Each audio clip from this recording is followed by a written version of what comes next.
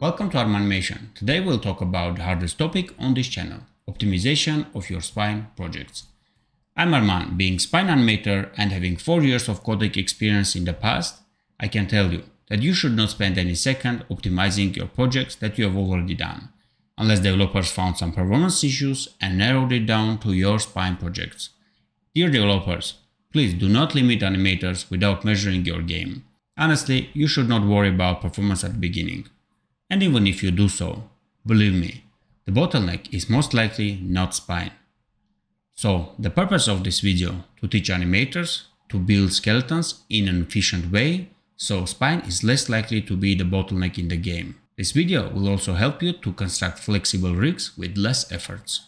To better understand how skeletons perform at runtime, check official documentation. I will drop the link in the description along with some other useful links. If you are animating projects to be rendered as video or sequence, none of this matters. Ignore this video. But don't just leave. Subscribe, maybe next video is just for you. Let's start from Photoshop, or wherever you have your art. Mainly animators receive the art in original size, which would mostly be unnecessarily big. The size of the images in the spine can be resized during the export, so it cannot be performance issue. However, my advice is to consider the highest resolution device that your game will run on and resize your art to match it before even importing into Spine. This way you will avoid massive skeletons with bone scale cranked up. Spine can even export multiple atlases using different scale ratios. So later developers can load an atlas based on user's screen size. Great, let's assume we have resized the art for our needs. What else we can do at this stage? If some of the art pieces have too much empty space, Make sure to rotate them or even cut into pieces for better packing. Next, if you have some shadows, clouds, smoke, anything that is blurry and in background, you can add scale tag to it for better packing. That will make sure that exported image will be smaller. No worries, Spine will stretch it back to initial size. The quality reduction should not be noticeable for our already blurry images. This will help you to pack tighter and smaller atlases. Once we have prepared our project in Photoshop, we are ready to import it into Spine. While rigging, we should keep sight of how our assets will be used. If it's going to be low resolution, on a phone, probably we don't need to rig each finger and strand of the hair individually. Don't use more bones and vertices than necessary. It can be surprising how much we can do with just weights. However, very often we will need mesh attachments. It is very important to resist the temptation of zooming in and adding too many details at this stage. The mesh should be functional and not looking nice. Add more details where the mesh is going to bend or stretch. If the mesh has hard parts, like this metal gear on her chest, maybe you need to preserve it with an extra ring and bind it with an equal value of all vertices. At this stage you should already know how the mesh should behave. Maybe it's going to rotate in 3D or it's bending uniformly. So better to plan before meshing it. After you finish setting up the mesh, you will need to bind it to the bones, so you can animate it. But what if we want to deform the mesh directly in animations? Why not? It is easy, you don't need to rig it with bones and weights, you have more control over vertices, and with soft selection tool you can easily warp any mesh however you want. Or check this out, we can set custom pivot for any amount of vertices and rotate or scale them. Cool, right? So, with all these controls, why not to deform the mesh all the time? Well, it has two huge downsides. First problem is that the mesh can be keyed only on one timeline. So you can't animate separate portions of the mesh independently.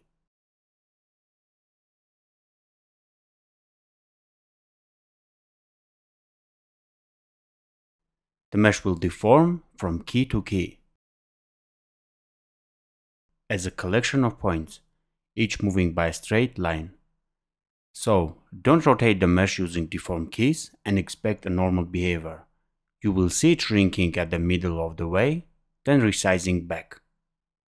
But the main problem is that deformed keys use a lot of memory to store values for every bone weighted to each vertex, and it also increases the data file size, since one of the largest parts of the skeleton data is the mesh vertex.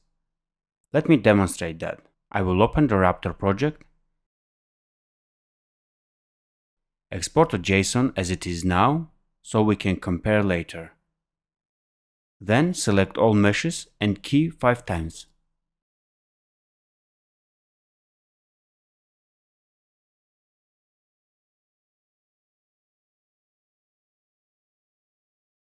And now let's copy them to all other animations. And finally, export it. Just rename skeleton so it generates a new JSON. Great, we have a new JSON, so we can clearly see that we have increased the size by more than twice. So, if you decide to use them, make sure there are few vertices. Or don't bound the mesh to the bones. In general, Maybe a few keys isn't a big deal, but better to use them sparingly, or not at all. A common mistake is when you go over all animations and adjust all meshes, just to patch things up. Don't do that. Cool. Let's say we have decided to bind the mesh to bones. Well, before doing that, it is important to understand where you will place the bones, especially for long attachments, such as rope, tail, or hair. Try position a bone at the cross section of the triangles. That will improve bending. What's also important here is to weight vertices to the minimum number of bones necessary for the mesh to function. This allows us to modify binding easily, and we will have less vertex transforms. By binding vertex to more than one bone, we will increase the vertex transform count, which will increase the calculation time of your game. Calculations use CPU, However, it is relatively cheap. Just keep an eye on it. It also means that you need to be mindful whenever you want to smooth the weights. I normally hit once or twice. And instead of smoothing all vertices, you can smoothen selected ones. Lastly, using prune may reduce significant number of vertex transforms. Uh, and did you know that you can recalculate portions of the mesh for specific bones? So cool, right? Great, we have our mesh bound to bones and working as expected. What about clipping feature in spine? I bet you heard that it is expensive, and according to the official documentation, it is indeed a very expensive operation for CPU. Always try to find alternatives before using clipping feature. For example, you can make holes in the face to hide the pupils, maybe add another image over it to hide the unwanted portion.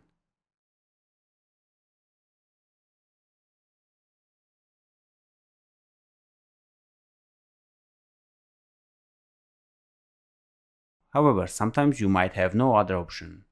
Like in this example, there is nothing I can hide the pupil behind. In those cases, make sure the clipping mesh has the minimum vertices needed. Clip fewest amount of attachments and avoid meshing clipped attachments. And even if you did mesh them, reduce the number of vertices in each one as much as possible.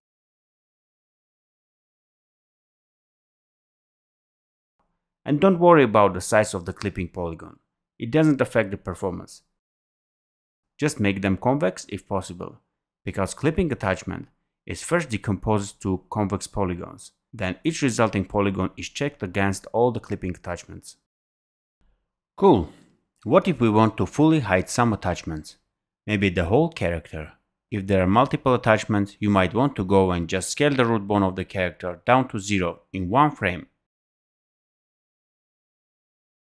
and boom, it's gone. Just make sure you break the interpolation. Sure, you can do that. Just know that at runtime the character will be still sent to be drawn. However, nothing will be rendered. And setting attachments to zero transparency will still draw the image and use fill rate exactly the same way as if transparency was set to 100. So, why not just hide your attachments? Makes much more sense, right? What about animation keys? How do they affect the performance? Well, the keys just hold numbers. So more keys means bigger data files and more memory to hold the data at runtime. For example, these portions represent one key and applying timelines uses some CPU. So fewer timelines is better. I personally never cut on timelines when I animate. I would even go and separate few timelines to have more control over them. I would sometimes even go wild and animate frame by frame to perfect the motion. So this is another reason to rig with less bones possible. Less bones, fewer timelines, and don't forget to clean up your keys when exporting for production. Next, I would say don't use too many constraints, but after double checking with Spine developers, I can say that there is no real reason to avoid using constraints. Isn't it great? But don't overdo them though.